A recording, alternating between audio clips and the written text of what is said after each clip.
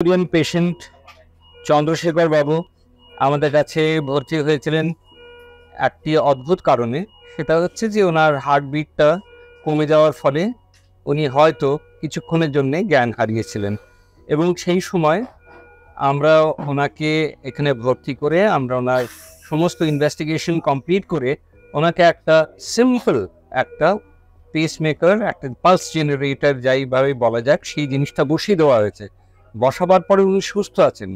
চন্দ্রশেখর বাবু centurion এই জন্য বলছি যে উনি এখন একশো দুই is hundred and two is got absolutely starry physical condition and is very sound mentally he remembers every bit of history and present moment it is really something যেটা সম্বন্ধে আমরা গর্ববোধ করতে পারি যে আমরা এরকম একজন পেশেন্টকে হ্যান্ডেল করছি এই প্রথমবার নয়, এবং প্রতিবার আমরা ওনাকে ওনার বাড়িতে ফিরিয়ে দিয়েছি।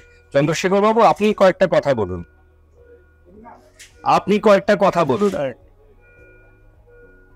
আরম্ভ করব। আমি এই যে মণিপাল হাসপাতালে এখানে এসেছি এটা কিন্তু আগে আমাদের যখন এই প্রথম সল থেকে এলাম সেই সময় থেকে যে শিশু- হাসপাতাল শুরু হয়েছিল সুরক্ষা নামে। তারপরে সেটা বদল হয়ে আরেকটা নাম হয়ে বর্তমানে মণিপালি বাবা হাতে আছে। এই মণিপালের যে কর্তা ছিলেন টি এ পাই তিনি ছিলেন লাইফ ইন্স্যুরেন্স কর্পোরেশনের চেয়ারম্যান চার বছর। সেই সময় আমি ইউনিয়নের প্রেসিডেন্ট ছিলাম সর্বভারতীয় ক্ষেত্রে। সেদিক থেকে তার সাথে আমাদের যথেষ্ট পরিচয় এবং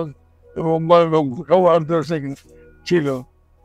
কিন্তু এখনও পর্যন্ত আমি একশো দু বছর চলছে আমার। আমি এখনও পর্যন্ত আমি মনে করছি যে আমি যেন আরও কিছুদিন বেঁচে যাব। এবং আমি যে এখনকার যে ছেলে মেয়েদের যেভাবে উৎসাহ দেখছি বিভিন্ন কাগজে, তাতে আমি খুব খুশি। এবং আমি এখানে যে মণিপালে হাসপাতাল যেখানে আছে, আমি তাইকে ডাক্তারবাবু এবং নার্স যারা তাদের সকলের যেভাবে আমাকে দেখাশোনা করছেন, তাতে একটা আদর্শ পাওয়া যায়।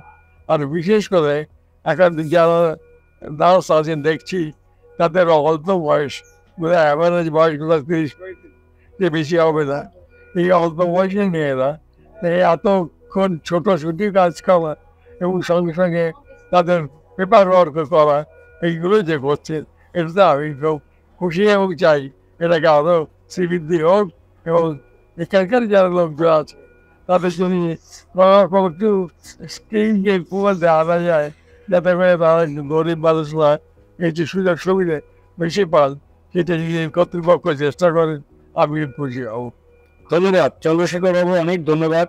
আপনার এই সুন্দর কথাগুলো আমরা চিরকাল মনের মধ্যে মাধিয়ে রাখব।